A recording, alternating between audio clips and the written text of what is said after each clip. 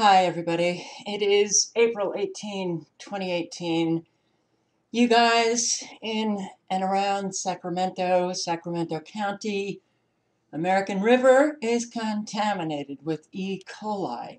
Interesting that they have found very high levels of E. coli in February and March. So I hope that this is not the first you're hearing of this, but these high levels of E. coli have been found in 9 of 11 sites. Yes, it's above EPA levels. The contamination at Tiscornia Beach and Discovery Park Steelhead Creek were particularly abhorrent, according to the Central Valley Water Board. So, no one has become sick from this, and E. coli is often caused by fecal contamination. So, are they putting sewage in your rivers? Are they putting sewage in the rivers all over the world? Because the world's rivers are quite contaminated with pharmaceuticals and sewage and other chemicals and pesticides. It's a great way to take over control of our water supply. Oh boy. So, um, the health impact. Symptoms. You can get symptoms within a day or a week. Diarrhea, which can range from mild and watery to severe and bloody abdominal cramping, pain, or tenderness, nausea and vomiting in some people, and things that you should not do. You can click on the link if you are someone who doesn't know that you shouldn't swallow river water or swim when you're sick or cook or wash dishes with river water or change diapers in or near river water don't enter the rivers after a significant rainstorm because that's when bacteria levels spike. Don't jump into the water with open cuts, open sores. Okay, um, did you know that you're about to be hit with a water tax? Despite almost uniform opposition from California water agencies, major water associations, and 73% of Californians, Governor Brown and the state legislature is pushing forward with a new water tax. It was formerly in SB 623, but I guess I guess opposition to this got loud, so they moved it into your budget trailer bill. Ah, you know, when these government officials have an agenda, they do a lot of shady manipulation to get that agenda, um, to get it successful, to, to, yeah, I want what I want when I want it. And I don't care if I destroy Californians in the process. The water tax starting at 95 cents per month for the base three-quarter meter, up to $10 for large and multiple, multiple meters. So there's roughly $100 million in new revenue to be generated by this tax will be directed to fix water supply, quality, and system issues in roughly 325 small water systems all over California. Taxes are so high. What are they doing with that money? That they can't seem to even give residents clean water. I will link below to this site, Free Drinking Water, uh, Water Pollution News, California's unsafe tap water, and it has an awful lot of articles here that unfortunately the hyperlink does not link to the actual article.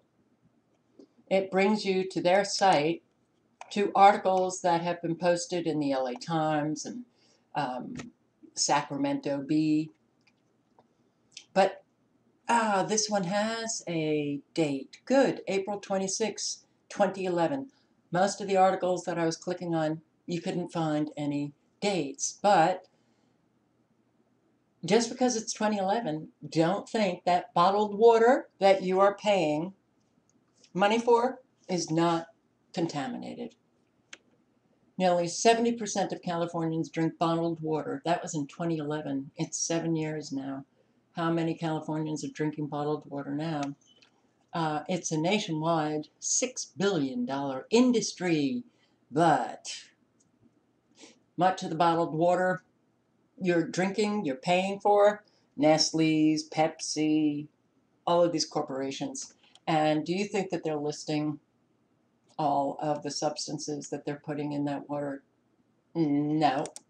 No. And anybody who wants to leave a comment saying I'm paranoid, you're only paranoid when people are not out to get you. Okay?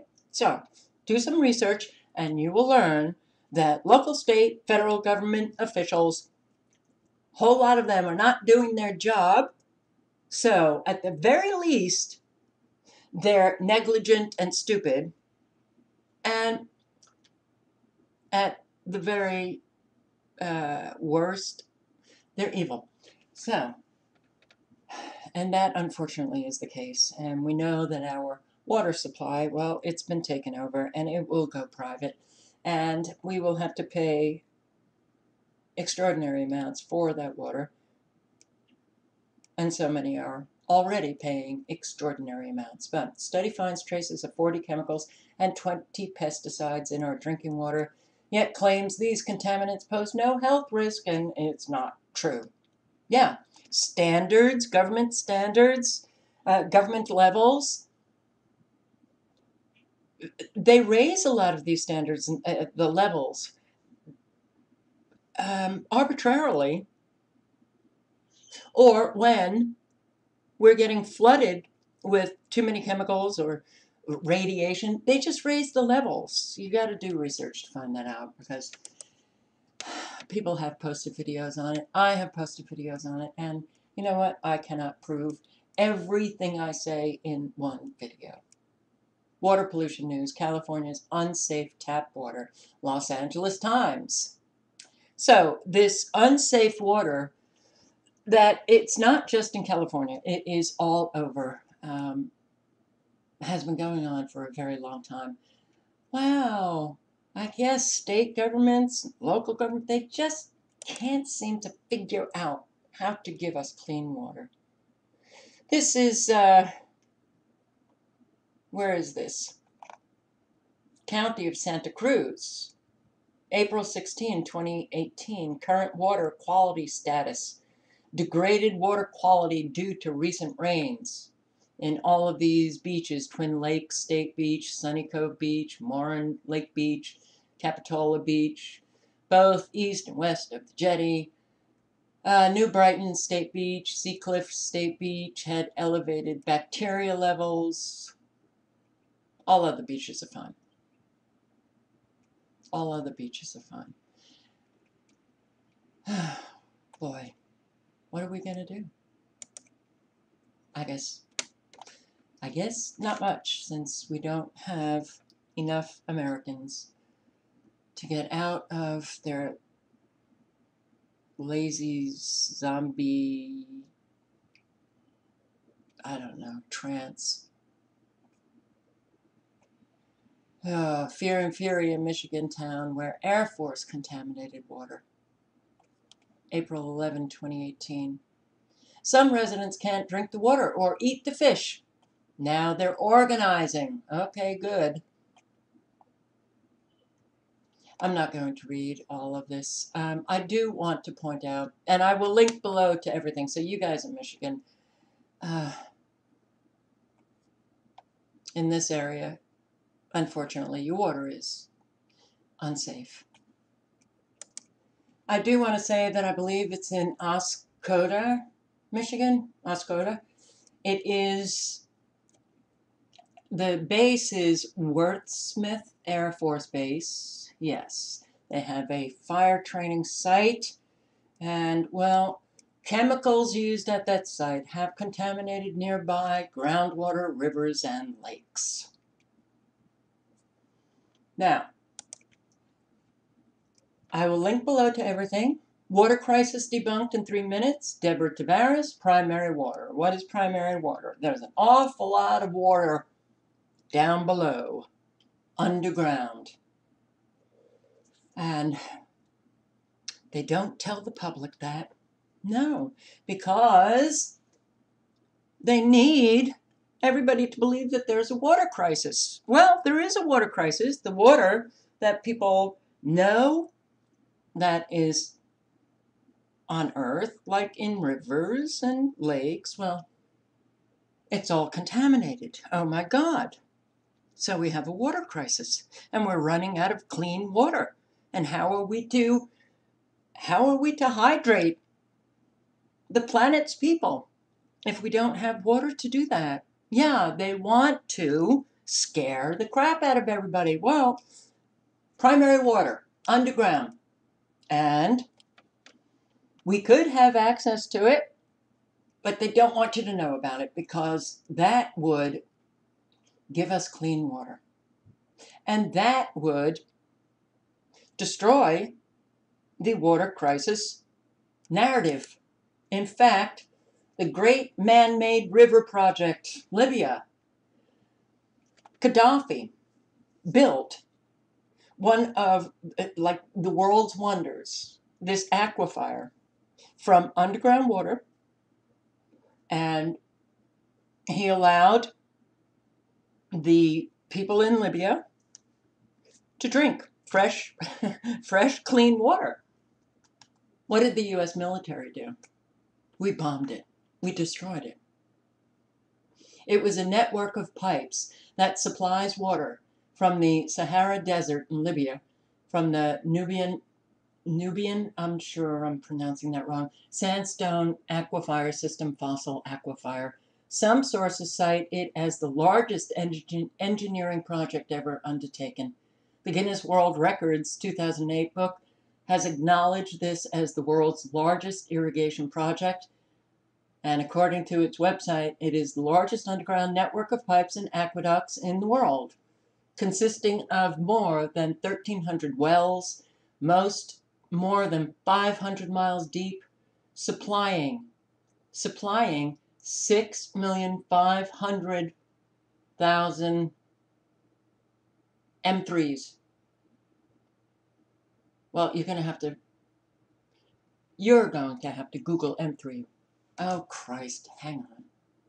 Oh, it's meter cubed, and I know I said, oh, Christ, so uh, more Christians will unsub me. Um, but it supplied fresh water per day to the cities of Tripoli, Benghazi, Sirte, um, and elsewhere. And we blew it up. We destroyed it. Oh, well. Sorry, Libyans, you don't get to have clean water anymore. That's right. Yeah, we're so humanitarian. Makes me so sick. Well, we do have pharmaceuticals in the water supply, so if you're feeling bad, drink some tap water. That way you'll get some antidepressants or opiates or some other kind of some other kind of medication. 2008, the Associated Press found an array of pharmaceuticals from painkillers to antibiotics to mood stabilizers in the drinking water of 24 major metropolitan water suppliers. Great. And let's see, in 2008, uh, we found more. But the Potomac River may look normal at first glance, but many of the Potomac's, Potomac, Potomac's male bass are producing eggs. Wow. And similar intersex fish are being found in rivers across the country. Scientists, they're baffled. They have yet to pinpoint the cause of this mutation could be that those pharmaceutical medications, many of them are endocrine disruptors, which means that their biological processes regulated by hormones, such as growth, development, and reproduction, gets affected. Endocrine disruptors, pesticides, herbicides, glyphosate. It's not just pharmaceutical drugs that they're finding in rivers. It's the pesticides and herbicides, glyphosate. We're destroying all that sustains life here on Earth. Any great? Rivers worldwide threatened by pharma waste. Study, April 10, 2018. Worldwide. Oh, it's because people are flushing their unwanted medications down the toilet? Is that what people do? Really?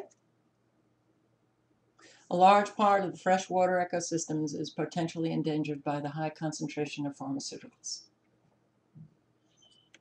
You know, what is the pharmaceutical companies, what are they doing with their waste? So many corporations are dumping waste into rivers. So I don't think it's just ordinary people flushing them down the toilet. I think this is known, so most people probably don't. They throw it away. Oh, but they have to have these programs, government programs, where you turn in your medications because you don't know how to dispose of your medications. So you turn them into the government. They know everything that you don't know. You turn them into the government. What could that be about? Do they turn around and resell them? Do they turn around and give them to pharmaceutical companies so that they can resell them? Do they want to know exactly who is not taking their medication? I don't know. But something is up with that, those state programs where you can turn your unused medication into police departments, because you just don't know anything anymore. You're just a useless eater that is so stupid that you need government to handle everything, all aspects of life, because you, you just can't. You can't figure anything out. All links are below.